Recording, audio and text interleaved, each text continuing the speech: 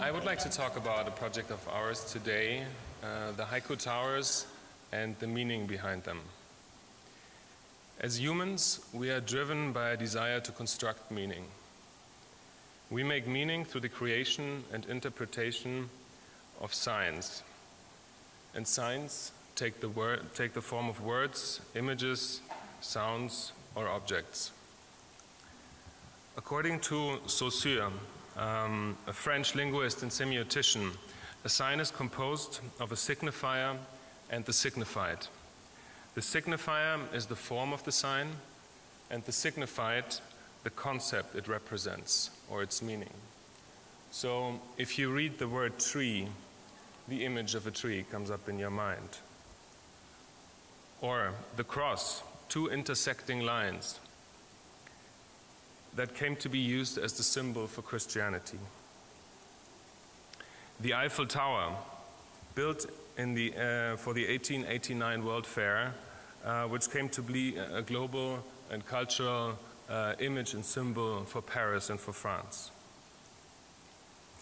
So, when designing the Haikou Towers, our aim was to go beyond an architecture of mere function and form, but to construct an architecture of meaning. We tried to integrate all the defining parameters of the design in a way that they would be mutually dependent. The question of the meaning of architecture is especially pressing in China. Never in human history has there been a condition compared to what is going through uh, in China at the moment. Urbanization, which took place over a period of several decades in Europe and North America, is happening in just a few years here in China. This is a satellite view of the Pearl River Delta in 79, uh, I'm sorry, here, uh, and in the early 2000s. So, in merely 35 years, Shenzhen has grown from a tiny border town into a multi million metropolis. But what about the meaning of architecture in such a rapidly developing society? Rem Koolhaas once coined the term of the generic city. He said that in China, the generic city isn't planned, it just happens. Because its past is too small to inhabit. Indeed, the breakneck speed of urbanization and growth entail the risk of losing the place, the identity, and its culture, rendering cities unrecognizable from their appearance just a generation ago. It may be true that the immediate past of China is too small to inhabit, but the roots to its rich ancient culture are all the deeper. China is one of the world's oldest cultures. It traces back thousands of years. Many teachings and ideals from the past are still alive in the minds of people uh, today. So the challenge is to bridge the gap between the ancient local cultures and the new contemporary identities. And as architects, we have to attempt to find a corresponding aesthetic. Not by adding or citing historical elements. This is the Beijing West Railway Station with a traditional pagoda roof uh, on top. And not by copying Western lifestyles and architectures. This is a one to one replica of the Austrian village uh, of Hallstatt in China, and a lady wearing the corresponding uh, clothes. Or a picture that has been taken on the outskirts of Hangzhou with copies of Parisian townhouses and uh, an Eiffel Tower in the back. What we are witnessing today is the search of a new collective identity. The pieces of the puzzle do not fit together yet, opening a window for architects and urban planners to play an active role in this process. As architects, we first have to understand the complexity of the interwoven patchwork of economic, political, and social dynamics. On this premise, we can propose buildings and master plans that may help crafting a contemporary Chinese culture. The Haikou Towers are located on the island of Hainan in the south of China, uh, usually known as uh, a tourism or holiday destination, Sanya, which is in the south of the island. Haikou is um, the business and cultural center in the north of the island and home to uh, one of China's most rapid, rapidly growing airline conglomerates, Hainan Airlines. The Haikou Towers are projected to become the heart of the new CBD, uh, which was envisioned from a blank slate, uh, this entire uh, development. It is the site of the former Haikou Airport. Here you can see uh, the runway, uh, which makes its owner, Hainan Airlines, one of the main driving forces behind the development of the CBD. This picture was taken um, during the competition in 2011, um, where we were literally confronted with uh, a greenfield.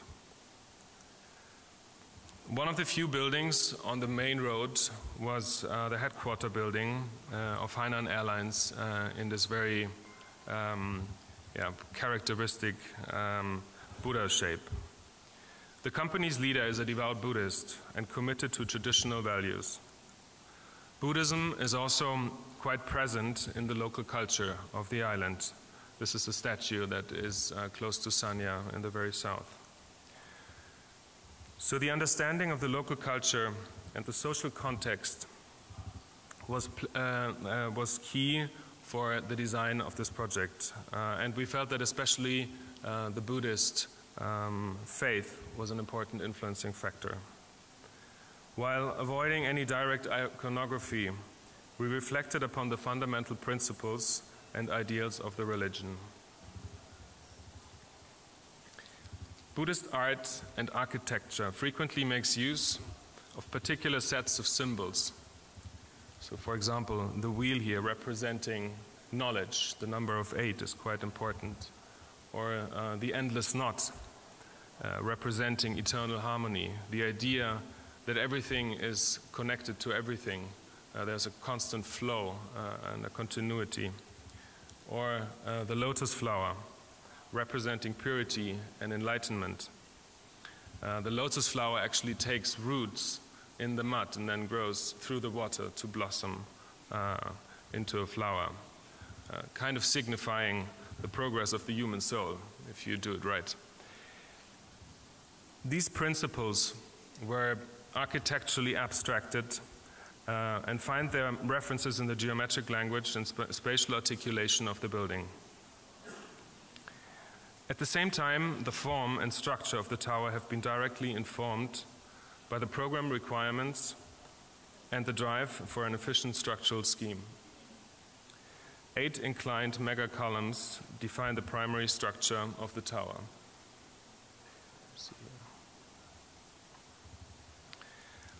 The program is separated into two uh, offices at the lower part of the tower and hotels on the upper one. And for offices, you usually want long floor spans, uh, column free spaces, so uh, we pushed the structure to the perimeter. And for the hotel, you would like to have unobstructed views uh, for uh, the hotel guests. So uh, the structure is kind of folding, uh, folding inwards. The silhouette of the tower can be traced uh, with one continuous curve, giving the tower a very kind of dynamic but at the same time balanced appearance. When seen from above, these curves are reminiscent of a lotus flower.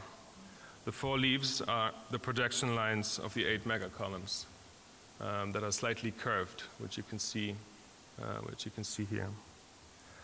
The tower is framed by two plinth buildings and embedded in a lush tropical landscape with large water pools. The tower tip is fully transparent and brings down natural light into the void and provides for maximum views from the observation deck. When the tower hits the ground, the structure is pushed into the four corners to provide space for one big column-free um, entrance lobby. The main entrances um, lead centrally here, south and north, to the offices, Soho and hotel from left and right. And then um, you basically start to spread onto three different levels uh, to access your respective elevator bank. This is a view um, looking onto the main entrance. Um, these three levels, um, or four actually, uh, are all interconnected uh, through a vertical void to provide for maximum visual connectivity. This is um, a section where you can see the program breakdown. So commercial functions in the plinth, office, Soho, uh, the hotel lobby, the actual hotel, and the observation uh, deck on top. The 10th floor, um, a typical floor um, for the offices, uh, very deep and open spaces, and uh, the structure pushed to the perimeter. Higher up, the 35th floor, uh, the Soho um, apartments, um, you can see nicely now how the tower transitions from a, from a square uh, to a circular plane. And then further up on the 68th floor, um, the hotel lobby, um, where we're back to a square, only rotated by 45 degrees. And uh, the central core um, is now split into four, um, opening up um, space for a vertical atrium and 360 views uh, over the city. So that's the kind of view when you step uh, out of the elevator uh, and approach uh, the reception desk. Um, so we imagine this as a very open um, uh, and light space, almost like a marketplace, um, where you could see uh, up uh, into the into the hotel rooms. you could see the sky, but also an amazing view out to the city. The hotel rooms which are organized around uh, the central void, and then uh, the tower tip uh, with the observation deck. The tropical climate of Hainan called for an intelligent and performative building envelope to minimize the impact on the building's energy consumption. This is a diagram that visualizes the solar impact on the building. The facade is designed to react to the different sunlight conditions depending on the orientation to the sun. So um, we have two panels, one is opaque and one is transparent, uh, and the opaque one is folding out according to uh, the intensity of the sunlight. So um, altogether I think we have eight different panels uh, that kind of seamlessly transform from one condition to another kind of making the tower look different uh, from, every, uh, from every angle. This is a facade detail showing uh, a part of the southern facade with a beautiful three-dimensional effect, interesting play uh, of light and shadows. The second stage of the competition uh, actually comprised more than one tower, but it was an ensemble of 10 towers ranging from 150 meters to 450 meters height, with an overall area of 1.5 million square meters. The urban master plan was inspired by a stylized image of two Buddha hands. That was actually a specif specification given to us by the client. These are drawings of Buddha hands describing different gestures and their meaning. we proposed two series of towers, taking the height of the surrounding buildings and culminating in two high points. At the ground level, the towers are framing a big central plaza outlined by an undulating podium with commercial facilities. The public realm between podium and boulevard expands with lush green spaces and water basins.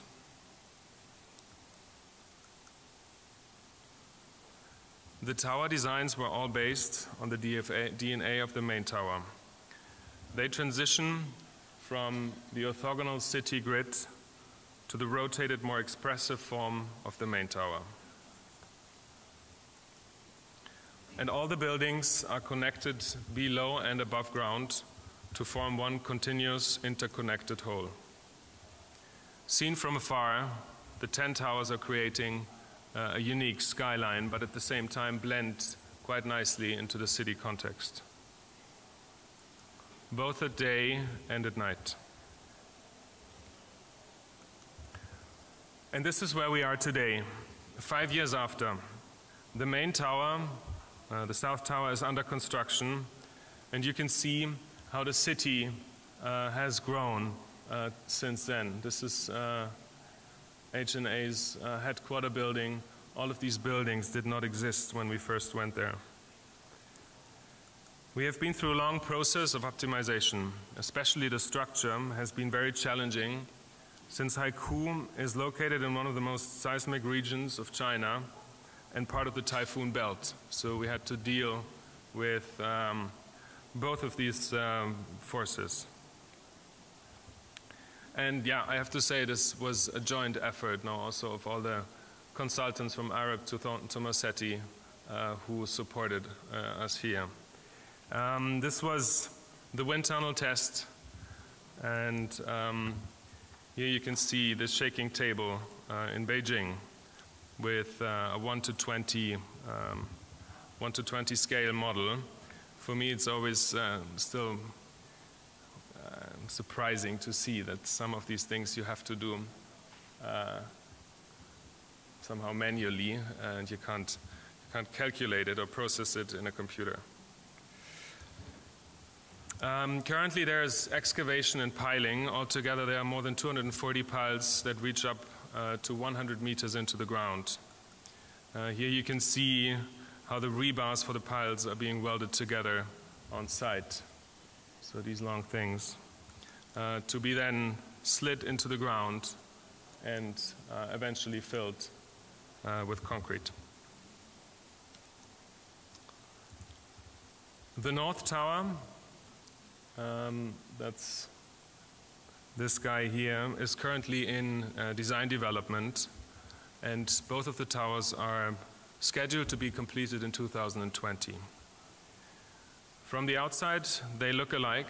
That was intentional. Um, they're supposed to be uh, twin towers, even though the North Tower is one meter higher um, with 429 meters in total.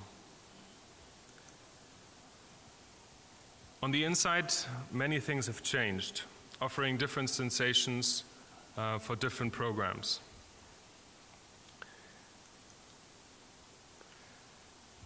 So coming back to the initial question about the meaning of architecture, I would argue in support of a reciprocal dialogue between economic and functional requirements and the social and cultural dimension of architecture.